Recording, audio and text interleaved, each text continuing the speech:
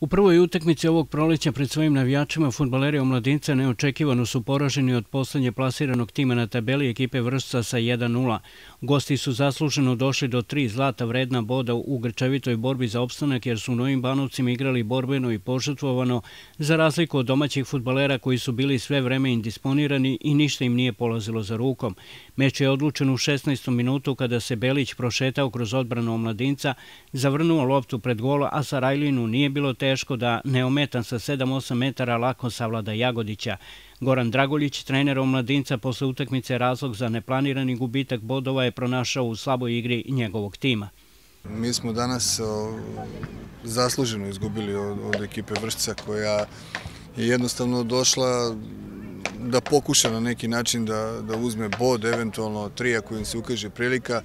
Dali su momci svoj maksimum i ja im ovog puta čestitam srca, želim im sve najbolje do kraja prvenstva i stvarno bih voleo da ostanu u ligi.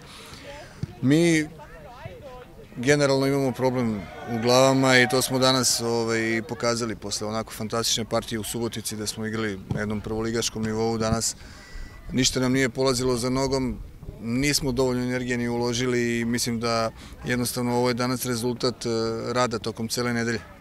Vršac nije imao trenera na klupi, pošto novi šef stručnog štaba Jovan Stefanov još nema pravo da vodi ekipu, pa im je sa klupe savete delio kapiten Ivica Rankov, koji zbog povrede nije mogao na teren. Jedna prava prvenstvena utakmica sa puno duela. Mi smo danas došli da izvučemo najbolje što možemo.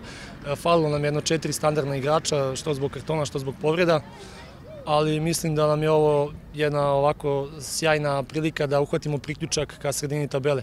I ekipa Novih Banaca je sjajna ekipa, ovaj, stvarno smo iznenadili sami sebe danas. Radnički iz Nove Pazove igrao 1-1 u Subotici proti Bačke 1901, Dunavi starih Banovaca i u Ođacima sa OFK Ođaci igrao 0-0.